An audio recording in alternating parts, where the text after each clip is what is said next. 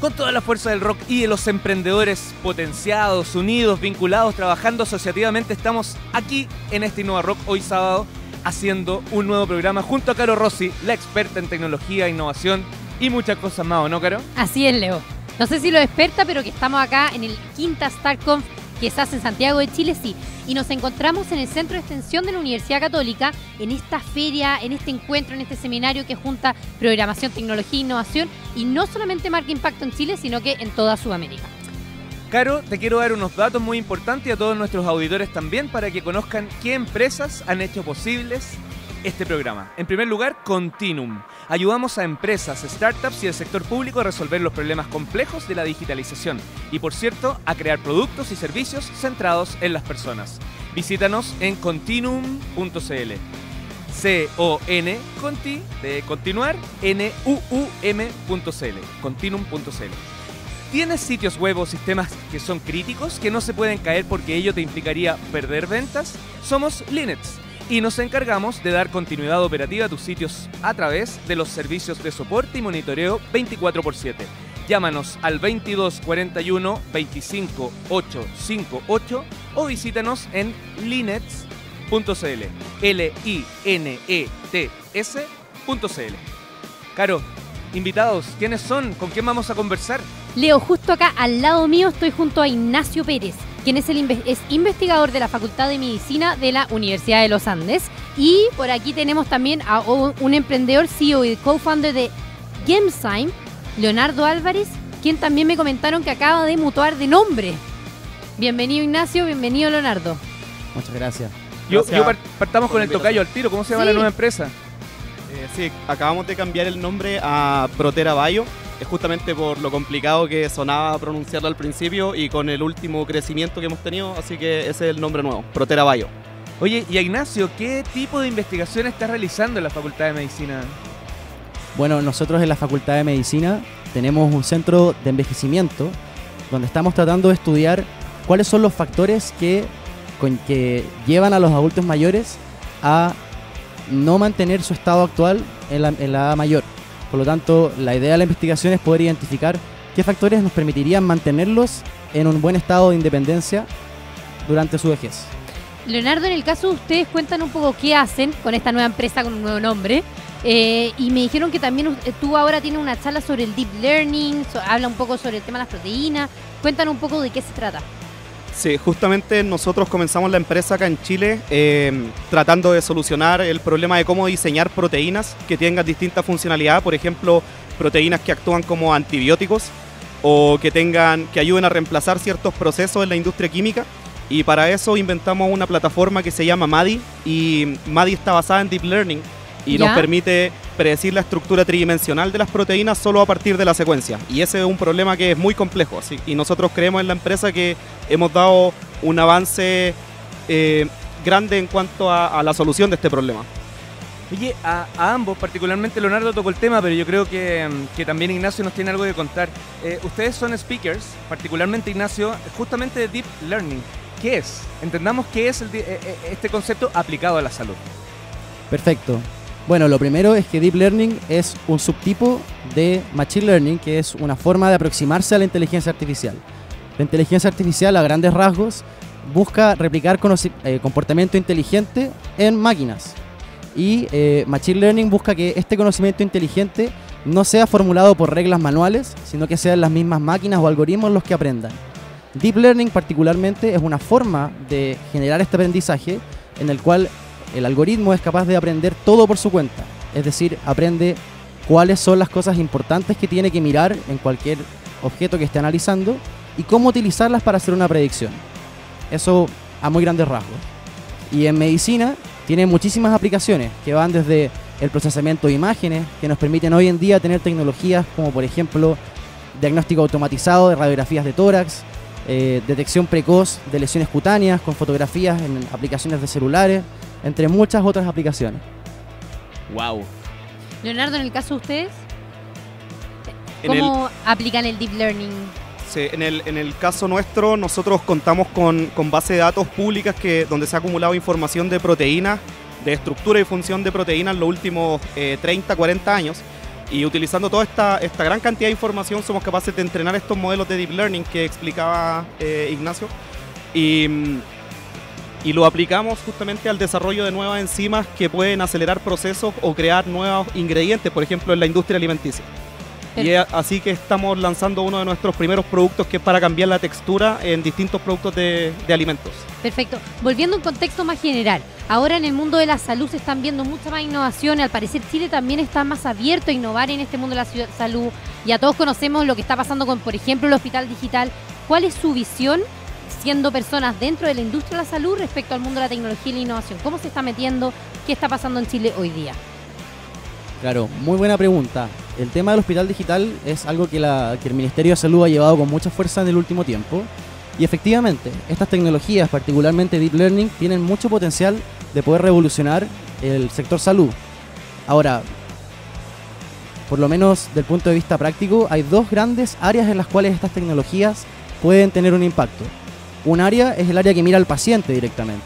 Y ahí estábamos conversando previamente de diagnóstico automatizado de imágenes, por ejemplo, o predicción de mortalidad intrahospitalaria, predicción de readmisiones no planificadas, pero probablemente ese tipo de aplicaciones todavía tengan un tiempo antes de verse implementadas en la realidad. Sin embargo, hay toda una área que es de soporte a las operaciones en salud. Y en esa, en esa área la inteligencia artificial tiene mucho potencial para los próximos años. Cosas como, por ejemplo, predecir la cantidad de pacientes que van a visitar un servicio de urgencia en un día o ser capaz de estimar el uso de las camas en un hospital. Son cosas que permitirían mejorar de una manera significativa la gestión en salud y de esa manera indirectamente beneficiar a los pacientes con mejor acceso a los servicios de salud. En el caso de Leonardo, ¿cómo ve el estado del arte de esta innovación en salud en Chile hoy día? ¿Cómo lo has visto? ¿Hay avances? Eh, Sí, principalmente en mi área un poco fuera de- del, área de la salud, pero sí relacionada al tema de la generación de nuevos fármacos.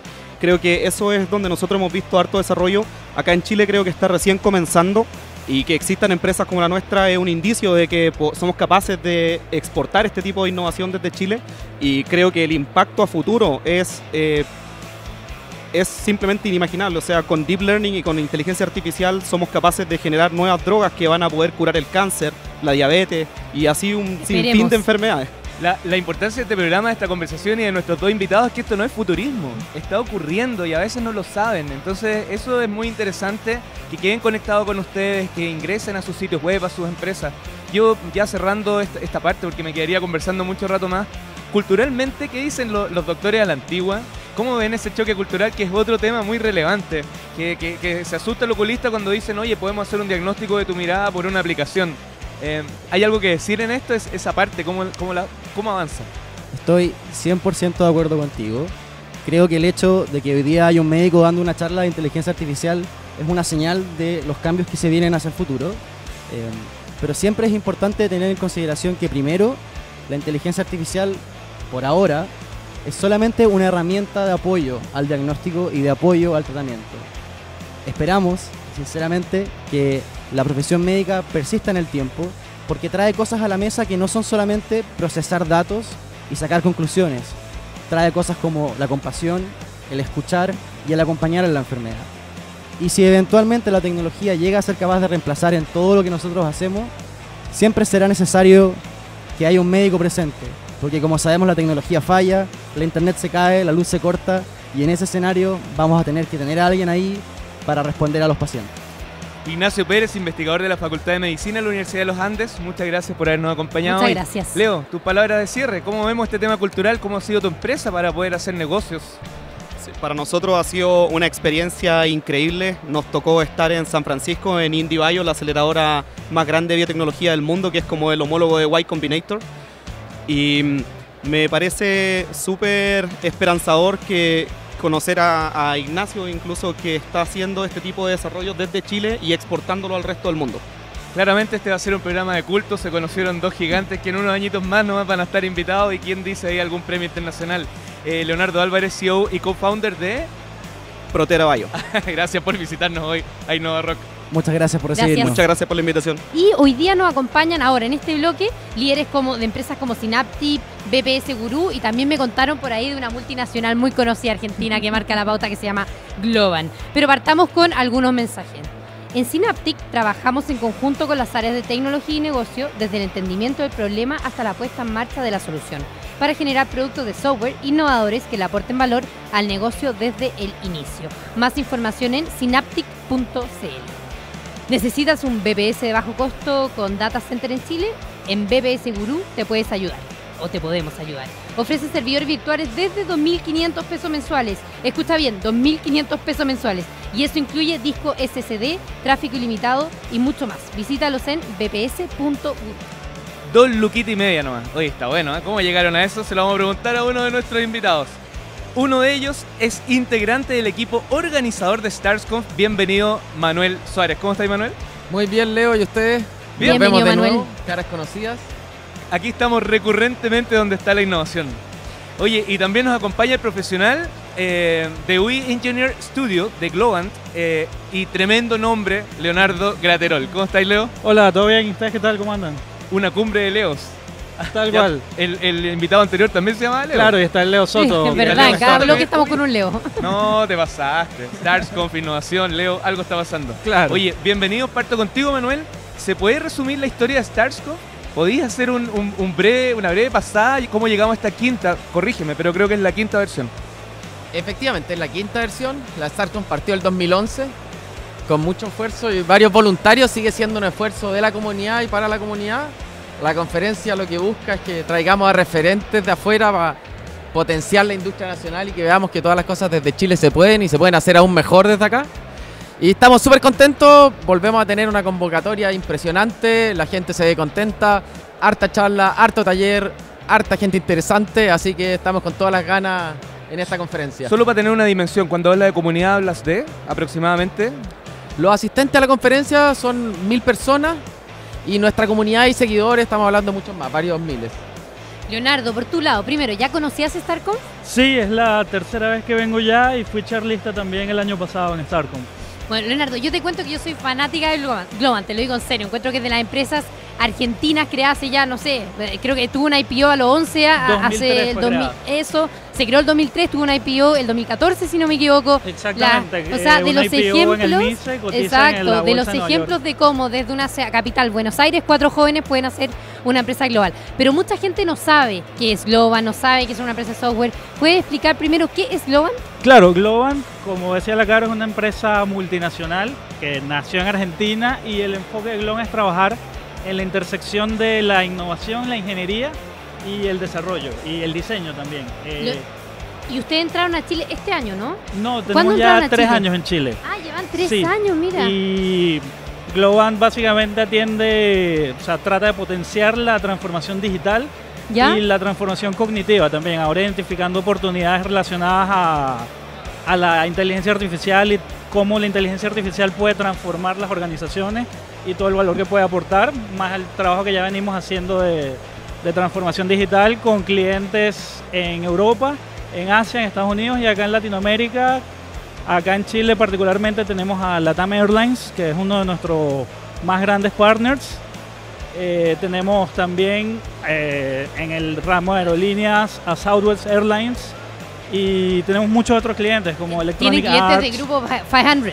Sí, Ah, de las 500 empresas más fuertes del mundo. exactamente. que- El enfoque de Globan es, está muy, muy relacionado con, con corporaciones que están llevando, digamos, la batuta a nivel mundial. Oye, Leo, eh, tú contabas que. Leo, que patúo, Leonardo.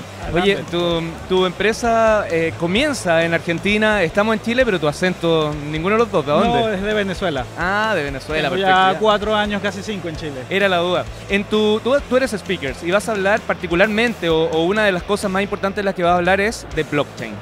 Exactamente. ¿Qué podemos resumir para no dar la charla acá? Tenemos unos minutos, estamos con Manuel, también queremos hacerles preguntas, pero Eh, ¿cómo vas a aplicar el blockchain? Un resumen básico de blockchain es un libro de transacciones. La gente te vende blockchain como algo mágico. No, es contabilidad.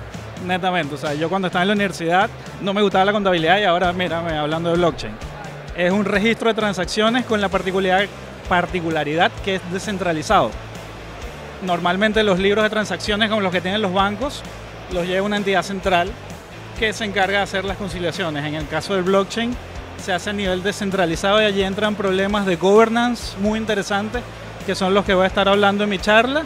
Y bueno, como deben saberlo, eh, lo más relevante, lo, más, lo que más suena respecto al blockchain es todo lo relacionado a criptomonedas, porque el blockchain es una de las columnas sobre las que se construyen las criptomonedas como Bitcoin, Ethereum.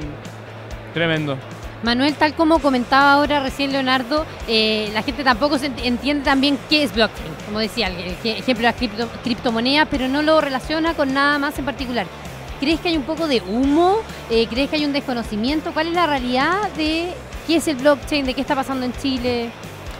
Yo creo incluso yendo un poco más adelante de, de blockchain y pensando en todo el ecosistema de criptomonedas hoy en día a nivel mundial, esto es lo mismo que lo que era Internet a fines de los 90. O sea, en el fondo, todas estas disrupciones tecnológicas se componen por un lado de una parte de humo, como dices tú. Hay mucho que efectivamente no le va a agregar valor, al ecosistema o al mundo en, en su totalidad. Pero sí hay mucho, hay mucho desarrollo, mucha tecnología, mucha construcción, muchos productos finales que efectivamente nos van a agregar un tremendo valor como, como, como sociedad y muchas de esas cosas ya están empezando a pasar. Y si tú te fijas, y volviendo a hacer la analogía con Internet de los 90, la crisis de las .com en el principio de los 2000 fue eso, en el fondo muchas empresas que no servían para nada, pero un par que eran valiosísimas y que nos producieron hoy día un cambio completo en la forma en que vemos el mundo y que interactuamos con las personas. Entonces, blockchain es la próxima revolución. Y como yo siempre lo digo, me perdí la del 99 porque no estaba en esa época en el mundo tecnológico. me perdí como dos o tres, así que esta no me la pierdo ni Oye, llorando. y ninguno de nuestros auditores se la tiene que perder. Lo que sí, ya estamos terminando el bloque, pero déjennos una, una papita, como dice Uri, que es otro de los conductores del programa. Déjennos un consejo para leer, para revisar y para seguir profundizando en blockchain. ¿Algo que recomienden? ¿Algún blog? Para mí, y de hecho, justamente voy a usar eso como ejemplo, la mejor referencia que puedes tener de qué es blockchain es entender qué es Bitcoin. Si tú entiendes qué es Bitcoin, todo lo demás ya empiezas a conseguir conceptos familiares. De hecho, mis ejemplos van a partir de allí y luego se elaboran un poco más. ¿Algún sitio web o algo así? ¿O libro? ¿O, Uh, me- o que te me sigan a ti? allí, no, que vean la charla y que me sigan a mí y luego podemos hablar más en detalle. Manuel, ¿en, en tu caso? Sí, yo creo que en el fondo la papita o no papita acá depende mucho de qué es lo que está buscando uno y quiere lograr. Si la gente quiere efectivamente dedicarse a la parte técnica, todo lo que es criptografía y la construcción por debajo de las criptomonedas, efectivamente el enfoque que dice Leonardo es el correcto. Pero igual hay gente que en el fondo busca de repente una, una posibilidad de, de- incluirse en esta tecnología y en este nuevo cambio que viene un poco más desde la, la inversión o del conocimiento un poco más cómo nos va a cambiar la sociedad. Yo creo que en ese sentido la única recomendación es, no es- todo el mundo dice algo, es- investiguenlo, léanlo, háganse su propia información. Si van a invertir en algo, quieren en el fondo participar de este ecosistema, lo cual es súper natural, háganlo basado en sus propios análisis y para eso hay harta li- literatura disponible. No es difícil de encontrar una búsqueda en Google y vaya a pillar más que lo que sale de cualquier otra cosa en el mundo hoy en día. Así que Y si por alguna razón te perdiste StarCraft 2018, no te perdáis la del 2019 porque ella la hacía doblemente mal. Manuel Suárez, miembro del equipo organizador de StarConf y Leonardo Graterol, parte de UI Engineer Studio de Globant. Muchas gracias por habernos acompañado hoy. muchas Claro, gracias a ¿todo ustedes bien? por la invitación. Gracias, por la gracias. invitación. Estamos democratizando la innovación en este laboratorio de ideas llamado InnovaRock, realizando un programa especial junto a más de mil personas que vinieron aquí a vivir el StarsConf 2018 en su quinta versión. Tal cual, Leo. Se trata de el evento más importante que una innovación, tecnología, programación y mucho más, no solamente en Chile, sino que impactando a toda Sudamérica. Y estamos acá por el segundo año consecutivo con InnovaRock, pero quinta vez que este evento al final transforma a miles de chilenos en Chile. Ustedes escuchan ruido de fondo, voces de fondo, altavoces. ¿Qué está ocurriendo acá? Es porque estamos haciendo un InnovaRock en vivo. Y esto es posible porque hay empresas muy inteligentes como las siguientes que deciden jugársela por este programa. Por ejemplo, Synaptic, con Y la primera, Synaptic, quienes se especializan en el desarrollo y mantención de productos de software, con enfoque en la automatización y en hacer mucho más eficientes los procesos de tu negocio usando tecnología, para que ese problema nunca, pero nunca más sea un problema. Más información en synaptic.cl. Y por cierto, la otra empresa es Continuum, con W, Continuum. Creamos mejores productos y servicios usando tecnología, innovación y diseño centrado en ti, en el usuario. Nuestra especialidad son los problemas que no le encargarías a cualquiera, solo los dejarías en manos de quienes te van a regresar la mejor solución. Visítanos en www.continuum.cl. Y estamos con dos fantásticos invitados, porque ya han venido al programa antes, los vemos de repente en conferencias, haciendo seminarios, y, y como que no se, se nos estuvimos con hace poco con uno de ellos también en otro festival que se llama Festival Something. Este, Bueno, viven, Leo, viven en el. Olimpo. Viene el Olimpo. Tratando que no sea En así. principio, al que está interrumpiendo, al principio a Juan Pablo Reyes, quien además de ser un emprendedor serial, podríamos decirlo casi que hoy día, además parte eh, fundamental de la organización de StarCom, y Agustín Folla Jaque, espero que lo haya dicho bien, lo dije bien, ¿cierto? Eh, eh, un startup multitask, socio fundador de Platanus, de Buda y hoy brilla con Fintual. Bienvenido Juan Pablo, bienvenido Agustín. Muchas gracias. Juan Pablo, dueño de casa, así que vamos a partir Sí. contigo. Cuéntame, Conversamos un poco en el blog anterior con Manuel sobre el surgimiento de StarCom. Me gustaría que des tus palabras sobre cómo surgió, qué significa la quinta versión para ti. Mira, la quinta versión para nosotros es un tremendo esfuerzo que hemos hecho, que para nosotros es un trabajo tremendo. Es todo el año trabajando para lograr esto, traer la gente que de verdad la gente quiere, generar los tracks atractivos. Me siento un poco Atacado con atacado el micrófono, pero vamos. Y, Dale, y la verdad es que ha sido como la conmemoración de un trabajo tremendo durante todo el año que creo que ha traído buenos frutos porque la gente también está muy feliz con los talleres que hemos hecho, con los invitados que, que hemos traído del extranjero y con los charlistas tipo Agustín que también son bastante buenos. Los acá. temas más relevantes para este año. A ver, tenemos.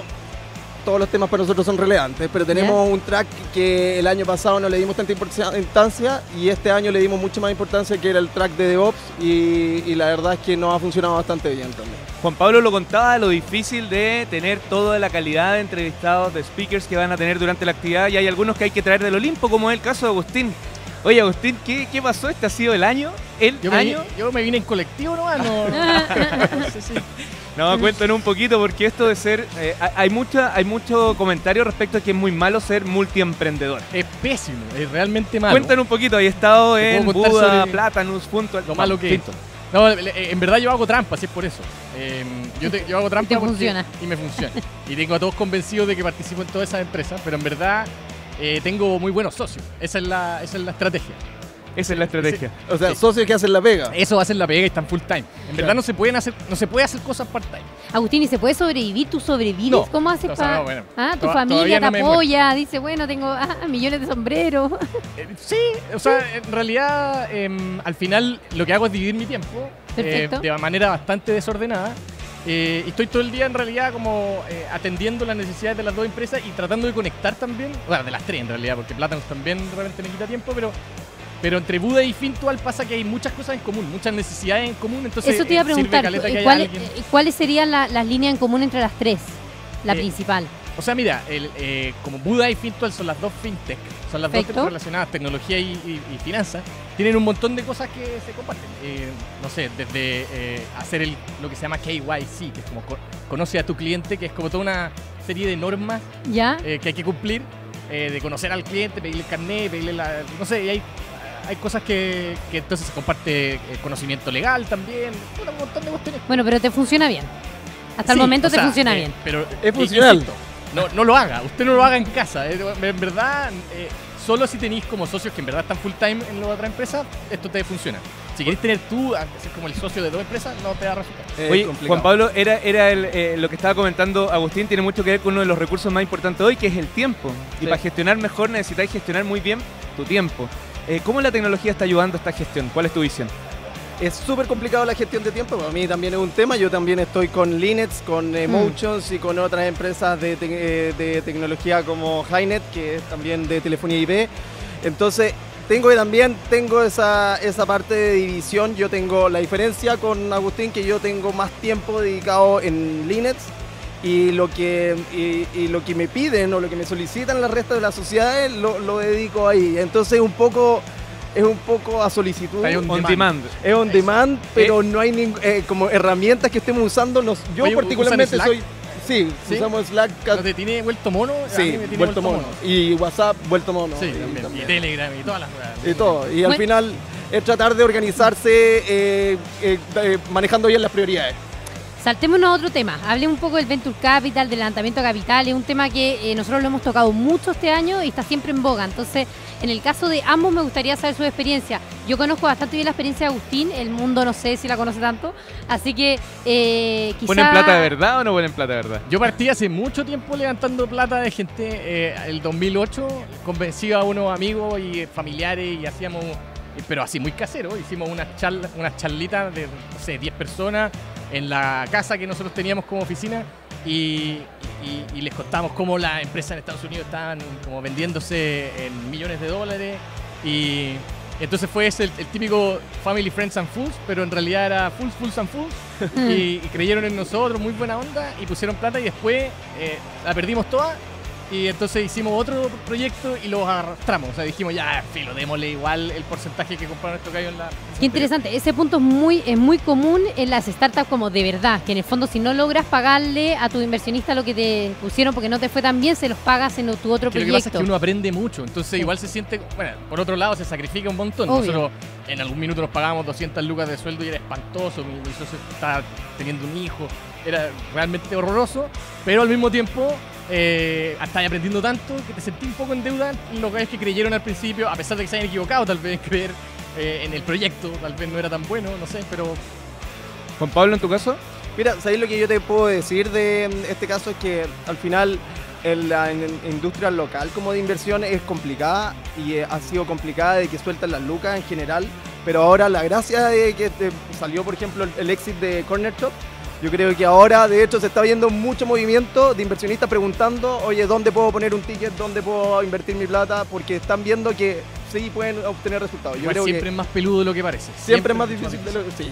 Y, y más encima acá en Estados Unidos mucho, mucho, mucho más fácil.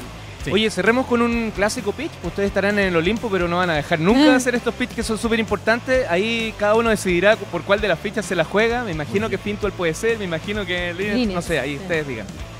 Ya, voy a partir yo. Si usted quiere arriesgar su dinero en criptomonedas, En se va a criptomonedas. apurar. Si usted no quiere arriesgar tanto su dinero, pero igual quiere invertir en el futuro, váyase a fintual.com. Fintual.com. Ahí tengo las dos alternativas. Estupendo. ya. eh, si, si usted necesita que le cuiden los servidores y que haya alguien respaldándole siempre la continuidad operativa de su servicio, Linux es su mejor amigo. Si necesita a alguien que le realice su e-commerce, también Linux le puede servir. Y si necesita impresión de fotografías digitales, Emotions es una buena empresa para eso. Y si usted algún día quiere conversar con cracks de la innovación, busque a estas dos personas, Agustín Foyeraque, co-founder de Fintual, y Juan Pablo Reyes, fundador de Linux. Muchas gracias por haber estado hoy con nosotros. Muchas gracias. Estamos aquí en la Pontificia Universidad Católica, en el Centro de Extensión de la Católica. ¿Para qué? Caro nos cuenta. Estamos por segunda vez consecutiva en StarConf, esta vez obviamente 2018. Una feria, un evento que reúne programación, diseño e innovación, no solamente lo mejor de Chile, sino que lo mejor del mundo y ya reconocido en Sudamérica. Y todo esto es posible gracias a la colaboración de tres empresas, sí, tres emprendedores que se unen para que esto pase. Vamos a hablar hoy día con uno de ellos, hemos hablado ya con los dos, pero ahora cerramos el bloque con el más tequi tequi de todos. Déjame presentarte a ti, Caro, y a nuestros auditores cuáles son estas tres smart empresas. La primera de ellas, Continuum. En Continuum, con W, ayudamos a empresas, startups y el sector público a resolver los problemas complejos de la digitalización. ¿Para qué? Para crear productos y servicios basados en tecnología que están centrados en ti, en las personas. Visítanos en continuum.cl. Una pregunta para todos. ¿Tienen sitios web o sistemas que son críticos, que no se pueden caer porque ello te implicaría, obviamente, perder ventas? Ok, si tu respuesta es sí, anota. Somos Linux y nos encargamos de dar continuidad operativa a tus sitios a través de los servicios de soporte y monitoreo 24x7. Llámanos al 2241 25 858 o visítanos en linux.cl. Lo deletreo L-I-N-E-T-S.cl. Y la tercera empresa también que nos hace posible estar aquí haciendo un Innova Rock Live es Synaptic. Con Y la primera, Synaptic. Trabajamos en conjunto con las áreas de tecnología y negocio. ¿Desde dónde? Desde el entendimiento del problema hasta la puesta en marcha de la solución. ¿Para qué? Para generar productos de software innovadores que le aporten valor al negocio desde el primer instante en que todo esto parte. Más información en synaptic.cl. Y profundas felicitaciones para Linet, Synaptic y Continuum, porque son tres empresas locales chilenas que hoy día tienen un impacto global con una tecnología a otro nivel para estar en Chile. Así que le- les damos nuestro tremendo. aplauso. Felicitaciones. Bueno, en este último bloque ya estamos cerrando, nos acompañan dos gurús de la tecnología. Uno de ellos ya amigo, amigo de la casa, tocayo de Leo, eh, el querido Leo Soto, representando un poco a Continuum y también uno de los organizadores de StarConf. Y Hola, tenemos un invitado internacional, eh, un ciudadano del mundo, Alistair Coburn, que autor de Manifiesto Ágil. Bienvenido Alistair, bienvenido Leo. Hola, hola, mucho gusto. Hola, hola, mucho gusto. Alistair, Encantado, in, in English or Spanish? Tratamos en castellano, ¿por qué no? Muy yo, bien. yo digo en castellano porque aprendí en Buenos Aires, entonces mi, no digo es español, pero es castellano. En radio no tenemos subtítulos, así ah, que... sí, sí, sí, sí. Leo, inmediatamente, mira, antes estuvo Manuel, estuvo Juan Pablo, nos contaron del pasado y, y presente de Starscom. Queremos hablar contigo del futuro. Wow, sí, les cuento. Eh, les voy a estar dando una primicia, eso sí, pero más bien les voy a contar lo que hay de fondo. Como StarsConf hemos estado, y ya han sabido, que hemos estado generando comunidad, eso es lo que está en el detrás de estos eventos. Yo siempre digo, las charlas son de alguna manera, son maravillosas, pero también son la excusa, y lo que ocurre en estos breaks, estos mismos espacios donde generamos conversaciones es la clave. Así que lo que se viene es cómo generamos eso de manera mucho más continua para que los eventos sean los pics en los que hacemos esto, pero también esté ocurriendo todo el tiempo, todos los meses, porque la comunidad y los profesionales de tecnología y diseño no paran, están todo el tiempo creando, y hay que 24 por estar 7. todo el tiempo conectando. Eso es lo que se viene. Qué buena, tremendo. Alistair, en el caso tuyo, ¿es primera vez que visitas StarConf? ¿Vienes como speaker ahora? ¿Vas a dar una conferencia? Eh, cuéntanos un poco, primero, eh, ¿cuál es tu background? Y segundo, ¿qué- ¿de qué va a tratar tu conferencia? ¿De qué vas a hablar? Sí, mi background, eh, estuve programador para años y segundo al jefe de proyectos, diseñador de metodologías para de- desarrollar eh, software y finalmente consultor independiente. Perfecto. Mi especialidad eh, son metodologías y cómo, cómo eh, manejar, gestionar proyectos. Y ahora, hoy día, eh, que ya vas a dar una charla, de ¿cuál va a ser tu tema? ¿Cuál es tu temática? Yo digo, a- ahora es la- el corazón de la agilidad. Entonces, ah, hace 16 17 años escribimos esta cosa, el manifiesto de, Ágil, pero fue sí, eh, más eh, en software que afuera de software. Pero ahora en, en 2018 tratamos a hacerlo más abierto para otras iniciativas afuera de técnicos, afuera de productos. Eh, hice una simplificación, hasta son solamente cuatro palabras. eh, eh, colaborar, ¿Ya? entregar, ¿Ya? reflexionar y mejorar. Entonces, colaborar para, para entregar, reflexionar para mejorar. Perfecto. Son las cuatro palabras. Colaborar, reflexionar. este- sí, colabora ne- necesariamente Sí, para entregar algo. Entregamos para aprender Entrega. cómo va el mundo diferente que pensamos antes, porque siempre el mundo va diferente que pensamos. Entonces necesitamos aprender cómo van nuestras ideas en el mundo real, no solamente nuestros... Ujú. No ah, solamente los mentas. pensamientos, sino que en la Sí. práctica. Entonces necesitamos ah, tomar un pausa para reflexionar, charlar, ver, introspeccionar, mirar los datos para mejorar todo, la colaboración y el producto y manera de entregar y todo. Me Pero tenemos este- solamente Perfecto. cuatro palabras, es simple. me gustó esto de- del, del cómo, cuáles son las verticales. Eh, te quiero preguntar a Leo cómo lo aplica en la empresa. Sí, eh, la verdad es que una de las cosas que nos pasa a nosotros en Continuum como equipo es que eh, mucha gente del mundo ágil, eh, de hecho lo ha visto Alistair, lo ha escuchado por ahí también, de que hoy en Continuum practican la agilidad. Y nosotros hemos empezado a dejar de decir que somos tanto de practicar la agilidad, porque más que practicar las metodologías, lo que nos gusta a nosotros y con lo que nos sentimos identificados con los principios de la agilidad. Entonces, ese manifiesto eh, del que hablaba Alistair, por ejemplo, tiene eh, una parte que hablaba de que las personas por sobre los procesos y herramientas. Entonces nosotros, por ejemplo, esa parte la aplicamos totalmente en Continuum y no hay un proceso ni una herramienta sagrada. Son las personas inteligentes que tú contratas para que te digan qué hacer, Bueno. las que dicen cómo hacer las cosas. Qué buena, muy buena mirada. En, en el, am- en el caso de ambos, tanto con esta método, con la metodología, con el libro, con lo que están hablando, eh, constantemente tienen que tratar de comunicar esto a personas que saben menos de tecnología de lo que ustedes saben. ¿Cómo es ese proceso de Sí. comunicar un mensaje tan técnico?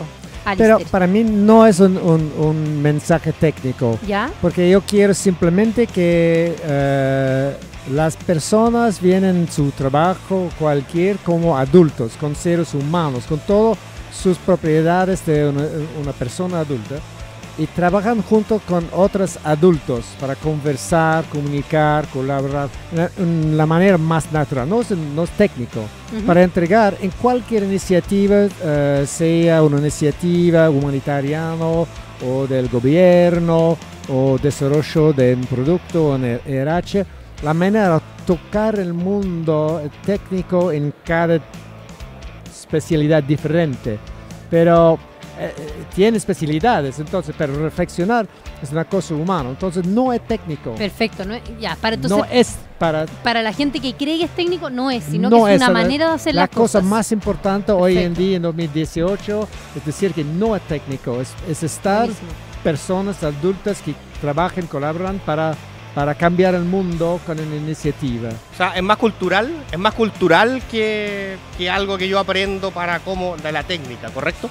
entonces no es una metodología más es, es una manera a ser manera a comportarse no es un sí Alistair Cockburn, muchas gracias por haber venido al programa. ¿Dónde encuentran el, el manifiesto? Where we can download. uh, el manifiesto Ajá. el manifiesto es, es eh, agilmanifesto.org creo Perfecto. Sí, simplemente, sí. Manifiesto Agil en Google o cualquier es- están acá. Muchas gracias por habernos visitado aquí en Innova Rock y mucho éxito en la charla. es un placer estar en Chile para primera vez. Muchas gracias. Leo Soto, tus palabras al cierre aquí ya uno de la casa de Innova Rock. Nada, feliz de, de- de- de lo que está pasando aquí, estar sentados acá nosotros con Alistair, alguien que inició 17 años atrás esta revolución de la agilidad, que ahora nos pega a todos, es exactamente las cosas que queremos hacer acá, así que muy contento, contento de tenerlos a ustedes también acá, así que nada, feliz, eso. Vamos a tener que hacer un programa especial de agilidad. eh, y lo otro es que también queremos profundizar en MITI, que tienen hartas novedades y ahí nos vas a contar. Así que más Feliz. adelante vamos a tener programa especial. A ambos muchas gracias, Caro. Yo tengo mis palabras, mis palabras hacia el público y no a Rock. Así como StarConf hoy día nos invitó a estar presente, nosotros queremos estar presente en los eventos donde tenemos que estar presente, que sean efectivamente innovación, que estén marcando la pauta y StarConf así lo, así lo mostró el año pasado, nos está sorprendiendo también este año, así que gracias por la invitación y quedan abiertas las puertas para que se metan a innovarock.com y conozcan todo lo que estamos haciendo. Y con temas tan relevantes como la agilidad, por ejemplo, que son cosas que normalmente no se hablan y que se futurizan. Y cuando son hoy, es ahora el momento. Innova Rockers del infinito y más allá, esto fue Innova Rock, el único programa que inspira, visibiliza y conecta a los Innova Rockers de todo el mundo.